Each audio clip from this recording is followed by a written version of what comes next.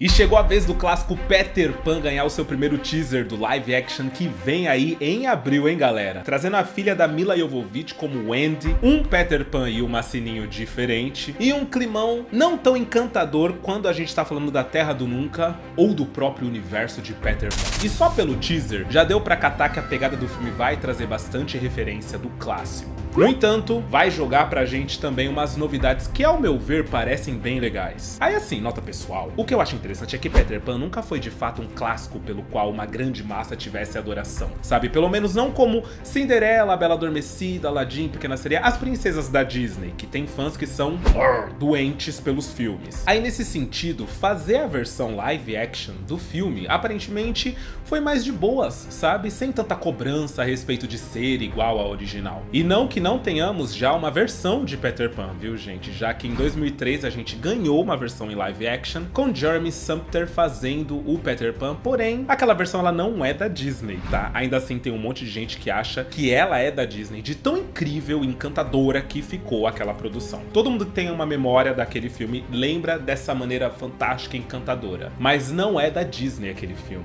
No entanto, agora sim, é a Disney assinando um filme do Peter Pan que na real vai se chamar Peter e Wendy. E aí, olha só já trouxeram pra gente a ideia de que vão haver belas mudanças só pelo título, que não vai ser Peter Pan, e sim Peter e Wendy. Então a gente pode esperar também bastante protagonismo da mocinha do filme. Então hoje bora mergulhar no teaser e fazer aquela análise completa que vocês amam, vendo quadro a quadro do que foi mostrado pra gente e tentando entender as referências. Mas já deixa o like, hein? Importantíssimo que vocês deixem o like, se não for inscrito se inscrevam e tornem-se membro, assim vocês vão estar apoiando super super o canal e o criador de conteúdo que vos fala. Sério, é incrível a iniciativa, gente, ajuda demais. Feito isso, bora analisar o teaser de Peter e Wendy, ou Peter e Wendy. É 3, 2, 1 e play. Diga. Bom, e já abre com uma primeira olhadinha da praia ali da Terra do Nunca, das pedras e tals. E assim, é interessante porque, para mim, não parece encantado, sabe? Tipo, não parece um lugar encantado. Tratando-se da Terra do Nunca, a gente meio que espera um céu com nuvens perfeitas, tipo aquele céu azulzinho com nuvenzinhas brancas, de terra mágica, de praia mágica. E aqui não tá, né? Tipo, tá normal. Inclusive, até um pouco deprê, né? não dá um, não dá uma sensação meio deprê, meio tensa. Aqui pra gente, eu não gosto de ir na praia com esse clima, tá? Esse clima que aparece no trailer, porque normalmente quando a gente tá na praia com esse clima, do nada bate um vento frio ruim que deixa a gente é, tremendo saindo da água, eu não gosto. Então a gente conclui que a primeira imagem já não é uma imagem tão convidativa, digamos assim. O que já dá pra gente a ideia também de que o filme não vai ser tão mágico, tão encantado assim. Vai ser mágico porque se trata de Peter Pan, Wendy, Terra do Nunca, Meninos Perdidos e tal. Mas não vai ter aquele ar tão encantado. Né, vai ter um ar mais realístico, talvez. Vai ser de alguma forma mais realista. Porém, com um pozinho de fada ali cintilando nas mãos da Wendy, né? Que é o que eu quis dizer agora, né? Vai ter uma pegada mais realista, mas óbvio que não vai dar para abrir mão da fantasia toda que envolve o universo de Peter Pan. Como você chegou à Terra do Nunca? Hum, uma reparação aqui, hein? No filme clássico, por algum motivo, os dubladores eles mudaram os nomes dos irmãos da Wendy, já que são Michael e John. Porém, o pessoal, os dubladores, dublaram Miguel e João. Era muito comum, viu, gente? Que antigamente o pessoal traduzisse nome. Hoje não se traduz mais. É, obviamente que eles mantêm o mesmo nome, mesmo que o nome seja igual Sininho mesmo, que no filme clássico a dublagem ficou Tirindim, Tilindim, alguma coisa assim. E depois se tornou Sininho, não sei quando foi que se tornou Sininho, e depois Tinkerbell, que é o nome dela mesmo em inglês. Então hoje já não se traduz mais, hoje é Tinkerbell. Mas é isso aí, o filme agora vai trazer na dublagem os nomes originais, Michael e John.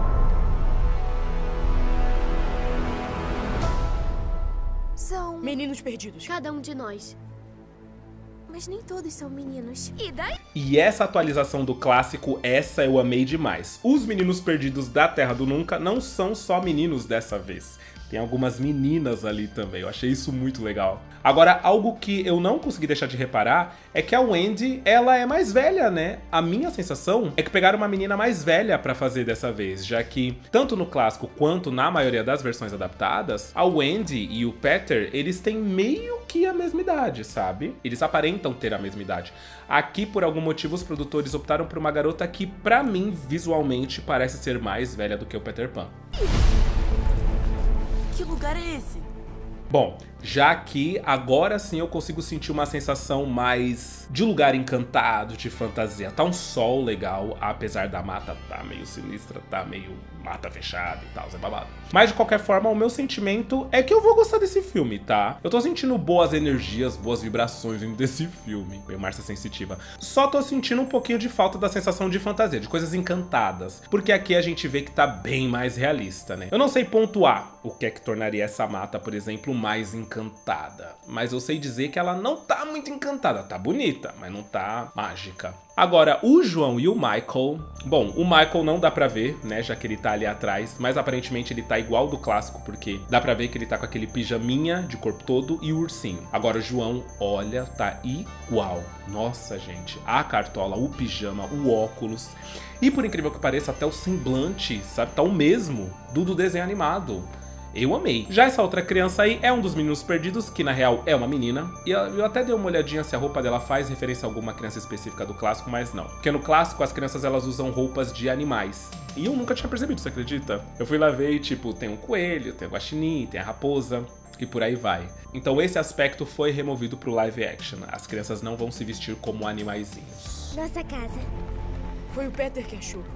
Assim como achou a gente. Uou, aqui. Bom, a casa dessa vez não é dentro de um tronco de árvore. No clássico, a casa deles era num lugar escondido na onde o Capitão Gancho não fazia ideia de onde era. Tanto que parte do plano do Capitão Gancho no filme era descobrir onde que o Peter Pan ficava. Aqui aparentemente parece um tipo de castelo abandonado, né? Não parece? Eu acho da hora, vai com certeza rolar umas cenas tensas aí dentro. E até por conta disso é que eles adaptaram para um lugar tão gigante assim, né? Eu acho que sim. Eu acho que eles não colocaram na onde era no clássico originalmente, porque provavelmente estão planejando coisas para esse cenário. E aqui dá pra ver bem a roupa da Wendy, né? A gente não comentou nas cenas que ela apareceu até então, mas enquanto a dos irmãos tá bem parecida, como a gente pode ver no, no, nesse take que mostra o John e o Michael, que tá ali segurando o ursinho dele clássico. Quando a gente olha pra Wendy, ela tá de sobretudo. E aparentemente, essa roupa aí que ela tá usando, que eu sei, eu acho que não é um pijama, viu? A calça, se eu não me engano, chama ciroulas que são as ciroulas. Eu não sei de onde que eu sei,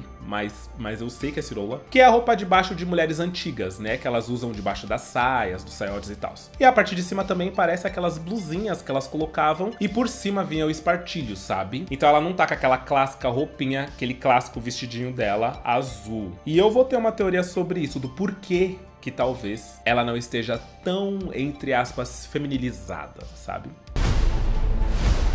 E aí está ele, Peter Pan. Olha, apostaram também numa repaginada pro Peter, né? Esse no clássico parece mais um garoto de verdade do que o do clássico. Porque o do clássico, eu não sei vocês, mas para mim ele parece um duende, sabe? Tipo, ele tem as orelhas pontudas, ele tem um nariz, né? Um nariz arrepitado de uma maneira diferente e tal não parece muito um moleque comum. Já esse parece, né? Esse parece um menino mais comum. Vocês curtiram? O que, vocês acharam? Agora, essa parte sim tem bem o climão do desenho. O quarto não é igual, essa parte da janela e tal, mas tá bem referenciado aqui. E aqui é também notória a diferença desse filme do Peter Pan para o filme do Peter Pan de 2003, que não é o da Disney. Onde essa parte da janela, por exemplo, era bem na pegada fantasia e encanto que eu tenho comentado, sabe? Que o filme do Peter Pan normalmente traz é, essa sensação de que o filme deveria ser dessa maneira. Mesmo sendo à noite, é uma noite bem encantadora, bem fantasia. Aqui não tá muito, né? Tá de noite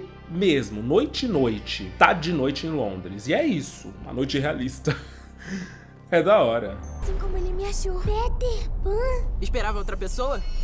A Sininho, eita Sininho. Bom, eu não vi, pelo menos não chegou até a minha bolha, a frente defensora das etnias dos personagens clássicos da Disney. Mas, se eles existem, eles estão novamente querendo ter um treco. A Sininho ou Tinkerbell, acho que vou ficar chamando ela de Sininho aqui, viu? Mas é a Tinkerbell. Acredito eu que é um dos personagens mais populares, não só do Peter Pan, como da Disney em si, né? E aqui, ela não é mais loira dos olhos azuis. Sim, aqui ela é a belíssima Yara Shahid, modelo e atriz, que para mim tá simplesmente deslumbrante de Sininho, de Tinkerbell. Sério, eu achei assim belíssima. Eles mantiveram a identidade visual da personagem, né? Praticamente intacta. A gente olha, a gente bate o olho e sabe que é a Tinkerbell, sabe que não é um personagem qualquer. É a Sininho. Só não loira, mas é a Sininho. Acertaram em cheio pra mim, tá lindíssimo.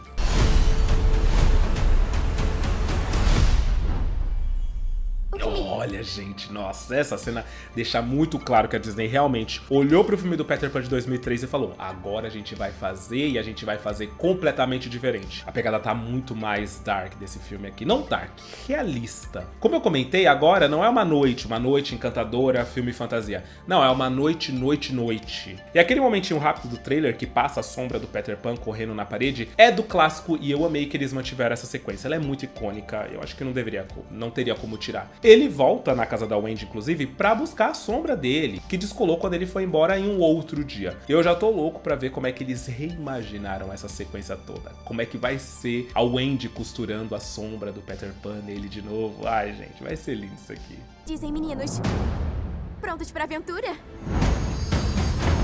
Parece bem longe daqui. É mais perto do que imagina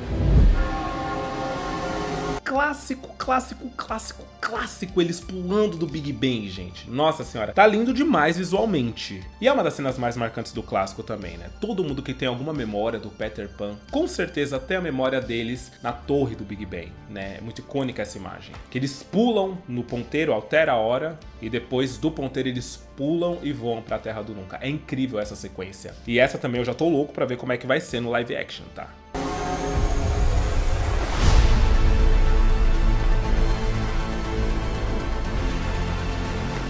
Uau, as sereias, gente. Eu fiquei muito empolgado para ver as sereias aqui. Não deu pra ver direito, né? Mas as do clássico, elas meio que lembram a Ariel. Diferem por poucos detalhes, assim. O detalhe do peito, da parte de cima e tal. Já as do filme de 2003, elas são completamente sombrias. Eu morria de medo da cena das sereias, que elas tentam afogar o Andy e tal. E aí eu fiquei imaginando se a Disney faria essas sereias na pegada das sereias da Pequena Sereia, o live action que vem aí. Mas aparentemente não. Essas são mais cintilantes e tal, né? Elas parecem mais fantasia. A gente tá usando muito esse termo hoje aqui, né? Mas elas parecem mais encanto, mais fantasia. Do que as de 2003 e menos realista do que as que a gente viu no live action da Pequena Sereia. Porque, como eu disse, é que elas estão brilhando, elas estão cintilantes, tem um neon ali no cabelo de uma delas. E aparentemente a cauda delas, né, o corpo é mais elaborado, tem mais detalhes, parece. Olhe, lá! Amei. Amei que os marujos, o pessoal do Capitão Gancho vai receber eles igual receberam os do clássico, na base do tiro de canhão. É sobre isso, Disney. Não alivia Disney, é tiro de canhão mesmo. Será que a Disney vai colocar o Capitão Gancho fumando? Será? Um charutão na boca? Ia ser bom, hein? Do que é que você tem medo, meu amor? Talvez eu não queira crescer.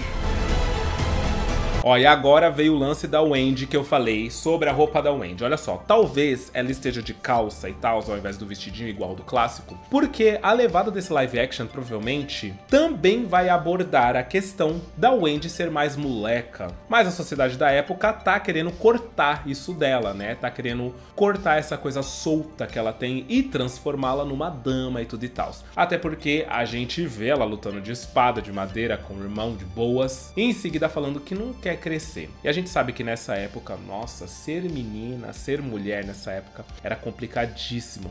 Então você imagina pra uma menina tipo a Wendy, que é mais moleca, gosta de ficar com os irmãos, brincar de espada de pirata. Eu sei que no filme tem um pouco essa pegada, e no live action de 2003 eles também abordam isso de certa forma. Já que eu não sei, como o título é Peter e Wendy, né? Peter e Wendy, eu acho que parte do arco da Wendy vai ser em torno disso.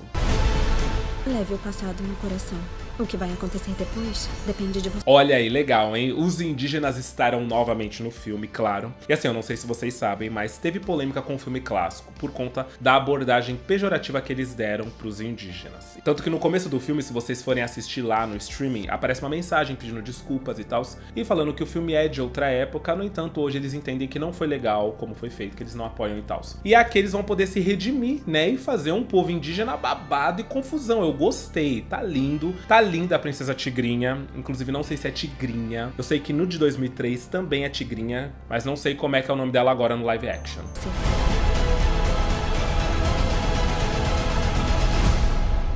Wendy Moira Angela Darling.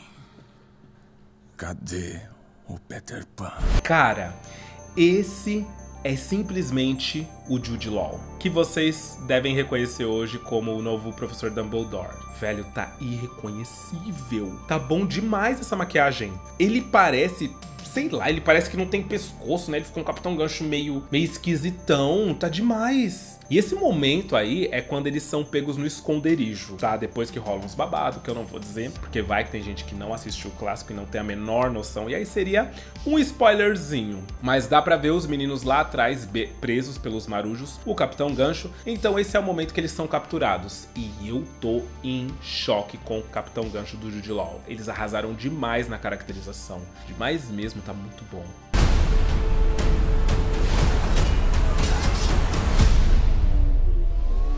Eita, e a Wendy ela vai voar sem o auxílio do pó da Sininho, da Tinkerbell? Será que a gente vai ter plot referente a isso? Porque o único que voa por si só é o Peter Pan, tá? O restante tem que ter aquela pincelada do pó da Sininho, senão eles não conseguem voar. E fora isso, esse clímax com o navio do Capitão Gancho voando antes da vitória do Peter Pan sobre ele, eu não entendi, tá? Porque no filme, é, o, o navio só voa no final, depois que já deu tudo certo.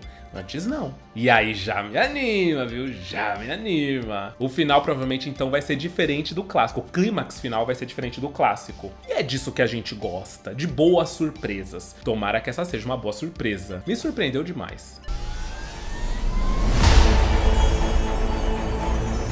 E boom! Dia 28 de abril, mês que vem no Disney Plus. Quem tá animado pra ver, gente? Cara, assim, esse é o famoso filme que não está prometendo nada, né? Porque eu não vi falatório em torno da produção dele. Então foi tudo muito tranquilo. Agora a gente tem que esperar que eles entreguem tudo, né? De um modo geral, eu gostei muito do teaser trailer, gostei do climão que aparentemente vai ter o, o, filme, mais realista, gostei da escolha do elenco, agora só basta mesmo gostar da história, né? Será que vem aí um tiro certo da Disney no quesito live action? Nossa, tomara. And agora eu acho que entre o Peter Pan e a Pequena Sereia, não temos mais produções live action. Então agora a Disney vai começar a soltar, provavelmente não, provavelmente agora não, só depois da estreia do Peter Pan, a Disney vai começar a soltar o material promocional da Pequena Pequena Sereia. Mais pôsteres, o pôster do filme em si, os pôsteres individuais de cada personagem. E a gente vai ver tudo aqui, tá? A Disney vai soltando e eu volto aqui pra comentar com vocês. Então deixa o like se viu até aqui. Mó mancada sair sem o like. E me conta o que é que você achou. Será que vai ser tudo, gente? Eu espero que sim, viu? Então, ó, tô recomendando vídeos legais aqui dos lados, ó. Se não viu, clica e vem se divertir. Eu espero que vocês tenham gostado do vídeo de hoje. Um beijo! E até o próximo vídeo.